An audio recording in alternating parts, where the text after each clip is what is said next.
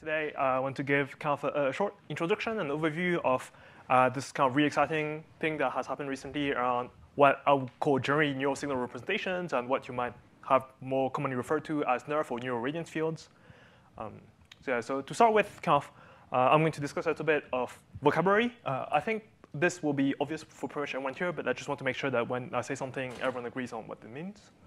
So as I said, there's kind of this word signal representation in them. So what is a signal? Generally, a signal, I would think of this, you know, it's some quantity that is varying in time and space. Uh, roughly, you can think of it as a function from RD to RP.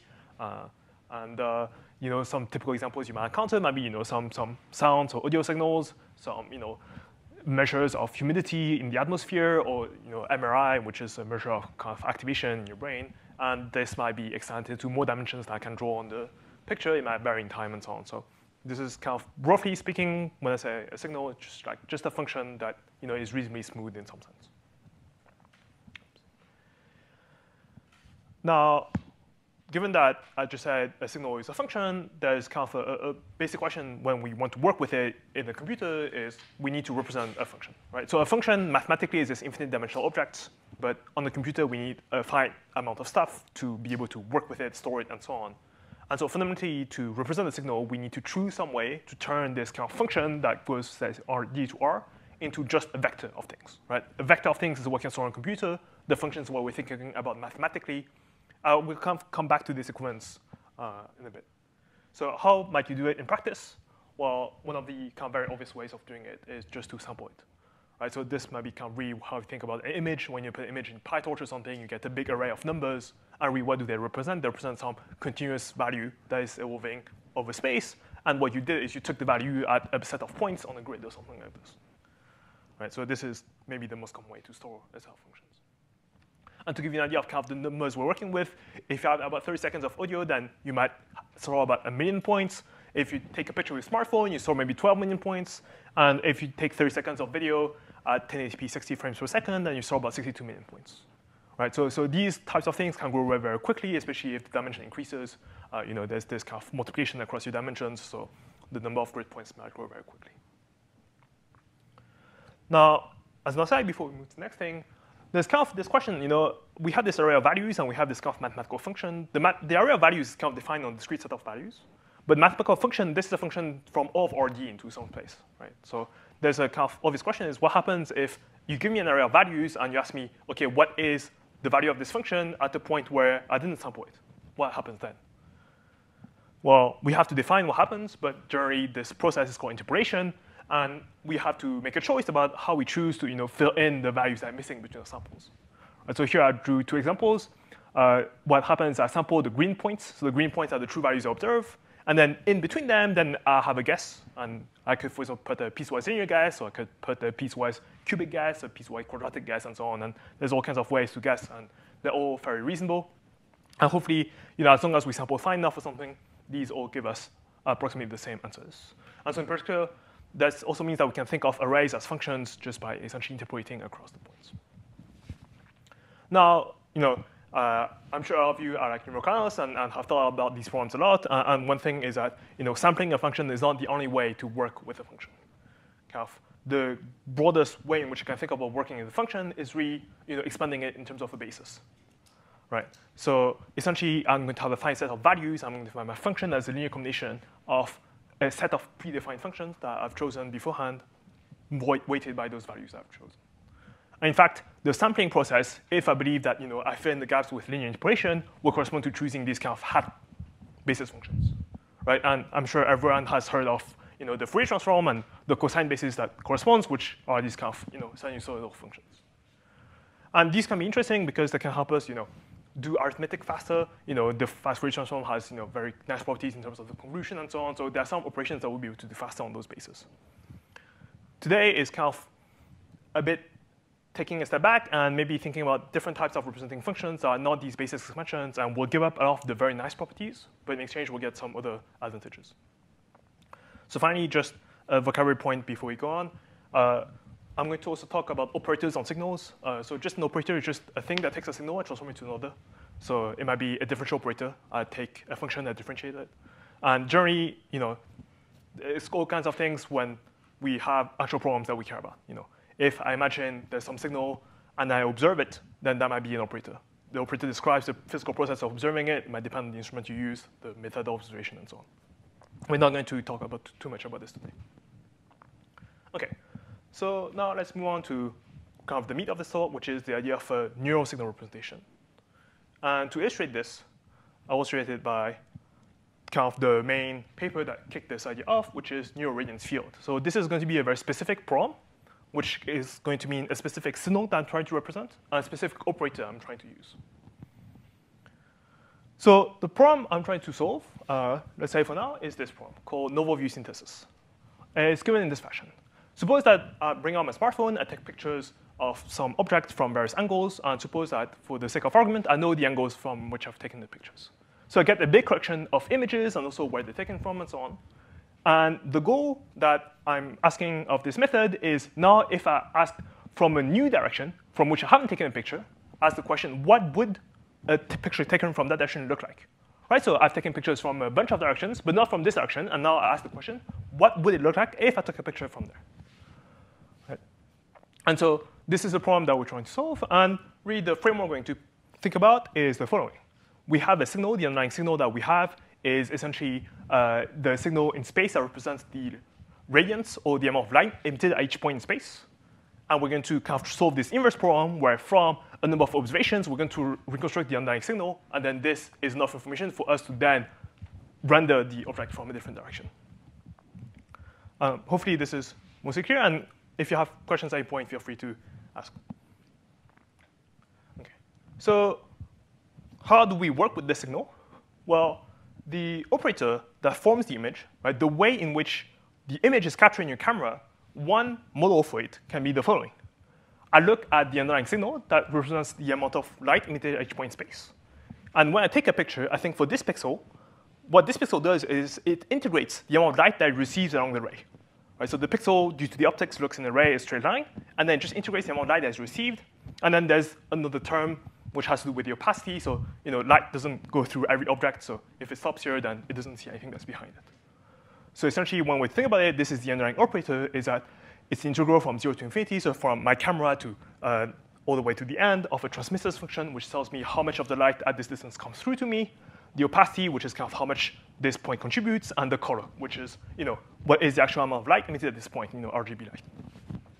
And we can describe all the points. So this gives me a relationship between the image I take and the underlying signal, which is the 3D representation of the object. And armed with this, I can actually just you know, do the deep learning thing and try to solve the problem. The last thing I need to do is there's a question, how do I represent the signal itself? Right? I've, I've kind of talked in a very abstract fashion about you know, these functions and integrals and so on, but as we know, to get this to run on a in a computer, I need to make some choices. And here the choice is very interesting. The choice we're going to make is uh, we're going to see a function, right? We have this signal, which is a function, and we see a function, and because we're deep learning people, we're going to just replace a function by a neural network, right? A function I don't know, just throw it out, put a neural network in there. And we're going to put a very simple neural network, actually. We're just to look at the you know, input parameters, throw it into an MLP, and predict the components, which are the opacity and the RGB color. Right? So just do this, and what do you get? You get something like this. So this is the reconstruction now. I've re-rendered from all possible directions, and I see something like this. So it turns out that this simple idea works extremely well. And today I want to kind of walk a little bit through all kinds of ideas that spawn of this. I'm not going to go necessarily into the details of how you do this. In fact, in hindsight, it's super easy. I'm going to discuss it a little bit, but I want to kind of explore a lot of the possibilities that people have come up with since we started this. Yeah.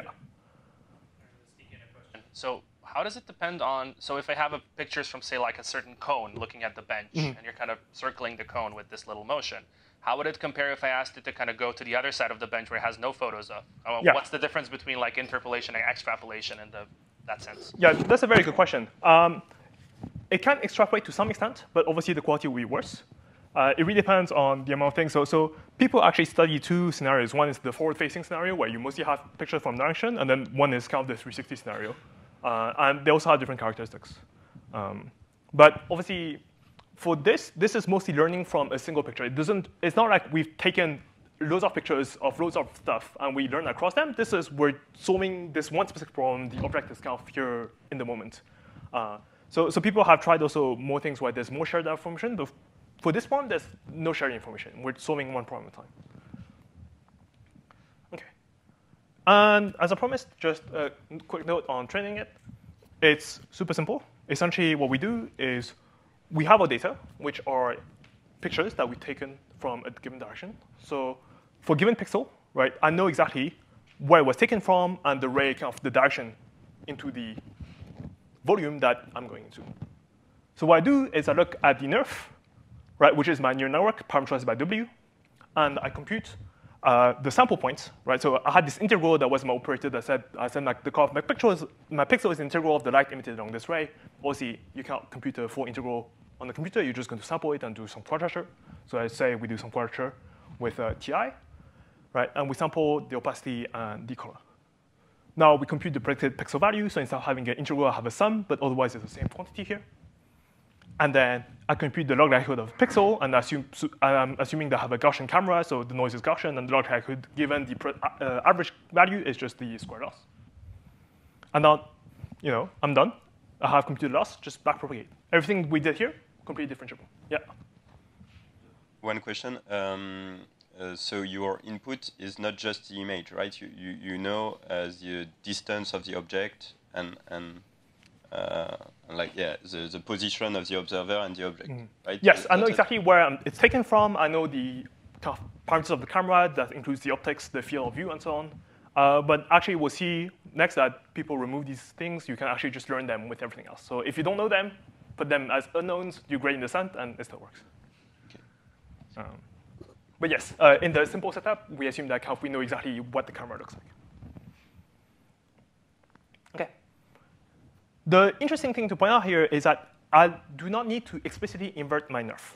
What I mean by this is that if I think of nerf as a way to represent a signal, right, typically if you think of a basis, you need a way to go from the basis gives you a way to evaluate a function at a given point. Right? It's, if you give me expressions on basis, I tell you can you evaluate the function at x equals 2, or you just sum up over the basis evaluations, and that's fine. But the other way around, if I give you a function, say sample, then I ask you what are the values of the basis, you need some kind of transform for this. Now for the nerf and for these kind of learning strategies, there's no easy way to go from a given you know, function to what are the weights of the neural network that would spit out that function. There's no easy way to do this. Right? There's not a DCT or a DFT or something like this. But it turns out that because we're using gradient learning, we don't really need this. We just need a forward model and the gradient takes care of the rest. Okay. So now I'm going to go through some examples and applications. Uh, if I endpoint, uh, I'm going to kind of have a very quick overview of them. If I point you're like, this is crazy, this is impossible, I would like to learn more about how it's done, I'm very happy to answer. OK. So there's kind of a few knobs that we can tweak on the nerf. One question is how can we build you know, the neural network, right? The underlying neural network that predicts the intensity of the light and the color at each point in space, how should we build it? So the original paper built it by using essentially a frequency encoded MLP. So what it did is that took each of the positions, x, y, and z, expanded them in terms of a Fourier series, and then just fed these big vectors into an MLP, and then it's a two-layer MLP that just predicts the color. So that turned out to work fine in practice, but nowadays we don't use this so much because it takes too long to learn. It's very expensive to learn because essentially what happens is that you have a global dependence between all your weights and the output. So it was a good idea to start. Uh, nowadays, uh, not so, not used so much. What have we moved on to? We've moved on to all these kind of slightly more explicit scenarios. So you can kind of, instead of having this kind of completely Fourier-based approach, you could have a very simple, you know, interpolation-based approach, right? Why are we even bothering with a neural network? You know, maybe we can just have a volume, and we sample in that volume using, say, trilinear interpolation at a given point, and just evaluate that. And maybe feed it through a neural network at the end, and the reason why you might want to do this is that it can allow you to create edges, whereas with trilinear interpolation, you'll have a very hard time creating edges. So it turns out that if you do this correctly and you kind of do a little bit of work and getting things to run really fast, then you can get really good results, and that's what this paper did. Now, this is kind of still very basic. Uh, you know, one of the issues, of course, is that you know, if I have a big tensor in you know, n cubed, then as the resolution in volume increases, I'm going to spend a huge amount of memory, and we don't have that much memory on GPU, so that's going to be a problem. So for example, one idea you could try to address this would be to try to have a low rank representation of the volume itself. So this is what this paper does, TensoRF. They decompose the big volume, right, which is a, an n cubed as some kind of low-rank decomposition. And again, uh, a three-dimensional tensor, you get some flexibility in the low-rank decomposition. Right? There's not one way to decompose a 3D tensor, but you know, they just put a bunch of them in. You might say, well, this is not invariant and so on. It doesn't matter. Uh, as long as you run the gradient descent, it'll be fine. So they do kind of these kind of uh, component-wise decompositions and then these kind of uh, plate uh, vector decompositions. And uh, just do it, and it runs perfectly fine. And you save a lot of memory by going low rank instead of going full rank for a three-dimensional tensor. So it's also pretty successful. And now kind of maybe the evolution of all this is probably this currently the most successful version there is, is this instant NGP. The setup is a little bit too complex to explain on the side, but the basic idea is, again, we had these volumes, but again, we don't want to store all the pixels in the volumes. So what we're going to do, we're going to randomly force some pixels to have the same value. So instead of having you know, n cubed of them, we're going to have uh, 100 of them, and then we're going to say the first one goes to the first one, the second one goes to the second one, and randomly switch them together using a hash function. And uh, you know, say, you know, this again sounds, you know, randomly enforcing pixels in your volume to have the same value. How could that ever work? But turns out that uh, with enough, with the power of neural networks, it works just fine. And this is probably the most commonly used uh, architecture nowadays for, especially for all these NeRF image type of things. Okay, so that was kind of, you know, how can we build a signal itself? But then there's the flip side, which people have been exploring more and more, is, you know, right now we're doing something very pedestrian with our signal. We're thinking the signal just represents the amount of light that's emitted in three-dimensional space. But there's much more that we can do with it, right? We can think about, you know, representing a wider variety of signals than just the amount of light that's emitted at each point in space. Okay, so what type of signals can we represent? The first one is we can add some latents. Right? There's no reason why the signal itself should only represent a three-dimensional thing right? We know that in the real world, your signal might vary. For example, here it varies with the time of day. And so what you do is instead of thinking of your function as a function of three-dimensional space, you can think of your function as three-dimensional space plus some latent parameters, right? And you might say, well, we don't know what the latent parameters are here, and this is actually true, and this kind of back, uh, comes back to Bruno's question. What if we have latents that we don't know, say the camera pose or something? Uh, doesn't matter, just learn everything, right? Uh, this is the deep learning way. Uh, so yeah, so this is an example of where they did this. They take all kinds of photos taken uh, by tourists, so they don't know the exact camera that was taken, they don't know the exact direction that was taken, there's some divergence in the time of day and so on, and then they essentially learn two networks. One network that is kind of shared between everything, and one network that kind of is able to count for small deviations. And then you learn that well enough, and you're able to kind of produce things like this, where you can control to some extent the aspect itself. So this is a pretty powerful idea that also has been uh, useful in science. You can also stitch blocks together to create these super large NeRFs that you know, span city blocks or even like the whole city. So this actually now, my saying that it's built into Google Maps. Google Maps is starting to use stuff like this to do some of the street view stuff. Uh, so this has been pretty successful. Um, there's no reason why you can't just have the color itself. You could try to include other types of signals. So, so here what you, we're doing is we're including a semantic signal. So it's not a continuous signal, it's a categorical signal. So our function itself just predicting the color, and the opacity also predicts essentially a one hot value that says what type of background it is. And then based on some very sparse labels, it can kind of color the whole thing. Right? And it's easier for the NeRF to do it than just to do it from the image because the NeRF perceives depth. Right? So even though it might not be too obvious from an image perspective, when you have an object that's in front, that it might be a different object, once you see the 3D picture, then it's very clear that that object is detached from the background. Finally, you know, you might want to have something more structured than just a, volume that's kind of very amorphous. So for example, a big investigation uh, that people have been doing in graphics for a while is this idea of signed distance field. So a signed distance field essentially defines a surface through the implicit equation f of xyz equals zero. And the advantage of this is that you can easily compute, for example, the normal of the surface by looking at the gradient of f. So this is what they do here. They use the same technology underlying you know, all the NeRF stuff, but instead of directly representing the function that represents the amount of light in each point space, the function represents some kind of distance to a surface. And so that allows you to get out normals and other stuff like this. That would be difficult to get from just a volume representation. Okay. And to train this, then, because we're in the surface and so on, you need to constrain the gradients in some fashion.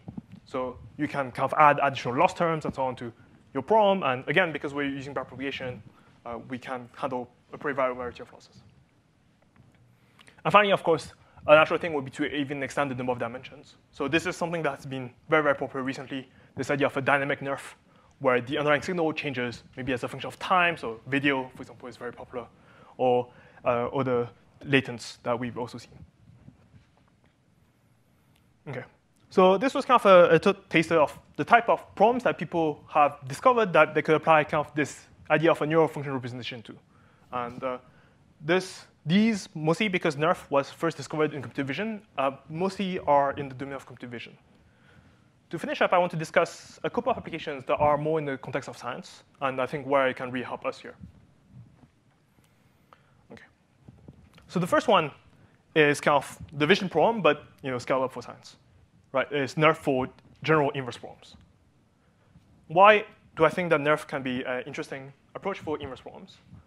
The first thing is that it has pretty favorable memory memory scaling. So instead of having to represent a dense grid, which can be very expensive, it's a, the graphics people have done a lot of work on making sparser and making them more memory efficient. So it allows us to represent very high, you know, dimensionality, high accuracy grids in three dimensions or four or five dimensions. We've seen with the latents, you know, they even go to like 10 dimensions uh, without too much issue in terms of memory, which you can then put into a GPU, which makes everything run much faster. The second thing I think which uh, is sometimes overlooked is that the NERF has an inductive bias towards really uh, spatially reasonable signals. So one phenomenon you might be familiar with, especially for example in Fourier basis, is this Runge phenomena, where the basis uh, has some you know things that are not so nice about the interpolation itself that creates wriggles. Uh, the NERF is completely in spatial domain, so there's no issue like this. Uh, it has a very favorable inductive bias. The representation is very flexible, so you get to try off different things. And also, it can very naturally does coarse to fine sampling. So the NERF itself is a function, so I can sample the function you know, with one point uh, per angstrom or with 10 points per angstrom, and there's natural kind of trade-off that I can do there throughout training that doesn't require me to resample my grids or anything like this.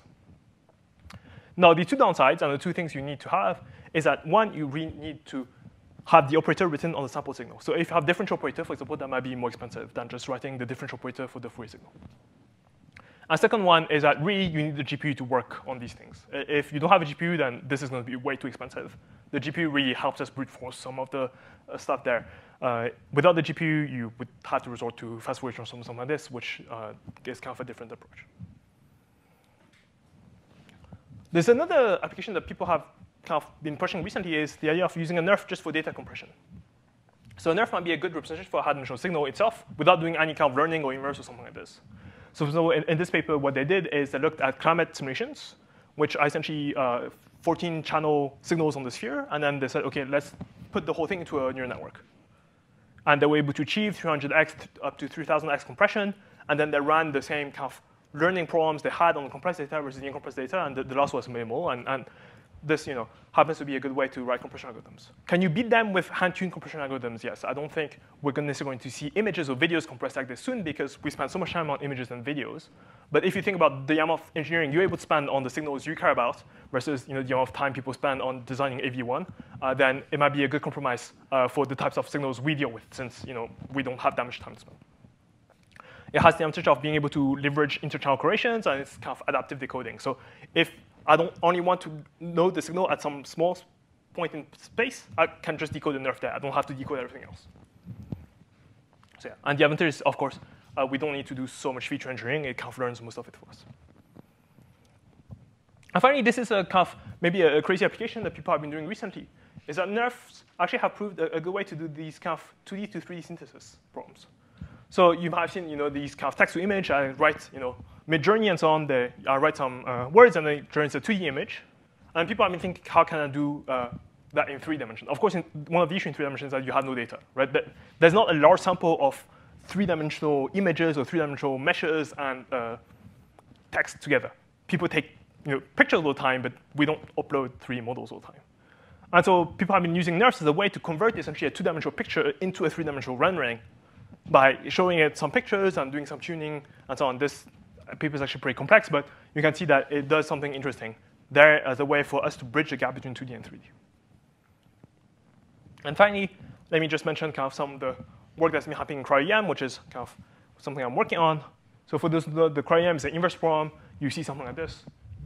And the image formation process is essentially uh, a projection, and then there's an in-plane convolution with an oscillatory function that's called the CTF, and then there's a bunch of noise that's added.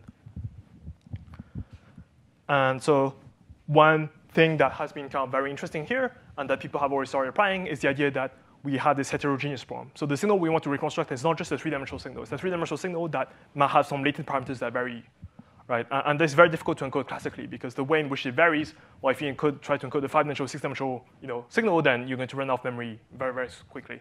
And so NeRFs have proven a very good way to encode these latent parameters and, and do something about them. And you can even use variational inference and other types of amortized inference uh, to do interesting stuff there. Okay, so to conclude, uh, some ideas about the futures of NeRFs for science. Generally, I think if you happen to have a problem where you're using some kind of gradient-based inference and a GPU, I would give it a try if you have signal. I think it's a very interesting basis. It bypasses some of the issues. Uh, and uh, if you do, just use instant NGP and it's the best NeRF.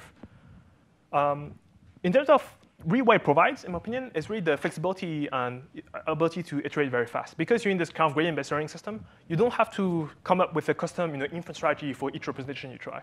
And this really has been the strength of NeRFs, is that people have been trying all kinds of stuff that you know, maybe shouldn't have worked, but some of them you tried and it actually does work, and this is amazing. Right? All of the ideas that I presented, you know, they had no reason to work, but we tried it and it worked, and this is really kind of where the flexibility comes in. Finally, I think we're still at the beginning, especially in science. There's probably many underexplored applications. So compression, I mentioned people are starting to think about this, but this is kind of very underexplored. I think there's also a lot of opportunities for unsupervised learning. So uh, as mentioned earlier, currently when I train a NeRF, I share no information. I train a NeRF just on the data I see here. But I can imagine if I have you know, different sets of data, I could train a NeRF and try to share some information and keep some information private, and the information I share, I can try to learn latents across or something like this. So that could be something interesting. And finally, you could try to amortize the NeRF itself, and that, again, could give you some interesting uh, insights into the statistics. Okay. Thank you.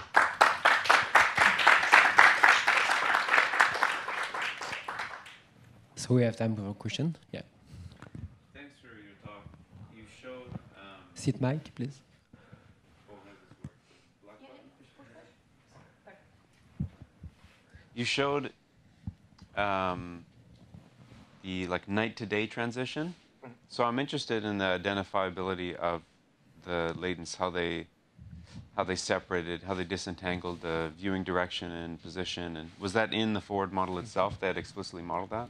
Yeah, so, so, so the, some of the latents are explicitly modeled in that the view direction and so on really comes into the physical model of the image formation process because we're explicitly saying the ray comes from here and integrates along this. This is disentangled from kind of the view parameters of uh, the image itself, which come into essentially saying that the function that represents the amount of light that's emitted at each point of space, this has initial latents. Now, those latents, they will be more tricky to disentangle, right? Like, imagine you have night to day versus rainy, not rainy, then disentangling this will be, you know, a, a big challenge and certainly something that, you know, is open question. I think there's interesting questions to ask there around, you know, if we learn something with a lot of latents, how do we disentangle them? It's a big cryo So, so the appearance is, is sort of like everything left over after you've modeled Yes. viewing direction. Yeah, exactly. Because the, the viewing direction happens to be modeled very explicitly through like a physical camera model. So, so for example, actually, when we do the cryo-EM, we model not just the view direction, but we also model some parameters that have to do with the way the weak scattering is propagated and the propagation and the interference that causes there. So that will be modeled explicitly. But then there's some remaining stuff that you can't model explicitly, and that disentangling all that is not obvious. So there are a question from Zoom. So from Linquin Zhang, could you say a bit more about inductive bias? I'm trying to understand what makes NeRFs work so well from very sparse sample of the original signal.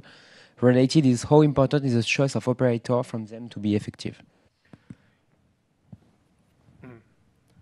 Yeah, so inductive bias, um, I think, has all to do with how we construct the NeRFs that are successful, especially these NeRFs nowadays. Uh, if you read this paper, you'll see that it's constructed based on this idea of a multi-scale grid. So you have a very smooth grid, and then you have finer and finer grids, and they combine together. Uh, and so generally, this seems to be a pretty good inductive bias for spatial kind of like signals that we care about in that you know they're mostly like compactish, smooth-ish in some extent. Maybe they have some edges and so on that the NeRF is able to adapt well to. So my current belief is that you know for most spatial-ish signals that you have, uh, NeRFs are very good inductive bias, uh, certainly better than most of the you know basis that people might typically use that I think are a bit too on the spectral side. In terms of the operator itself, my impression is that the operator is actually pretty flexible as long as you get um, a reasonable um, coverage in terms of your gradients. Uh, something that I was reading today actually. Um, in, in, this paper, uh, they mentioned that one of the operators they use involves some gradients, and they take the numerical gradients in order to be able to backpropagate through more points in the NeRF rather than taking a, a, a, a kind of backpropagated gradient. Uh, so, but my impression is that uh, the operator is very flexible. We've had quite a lot of success with like cryo-EM operators, which are these weak scattering operators, which are pretty different from optical images.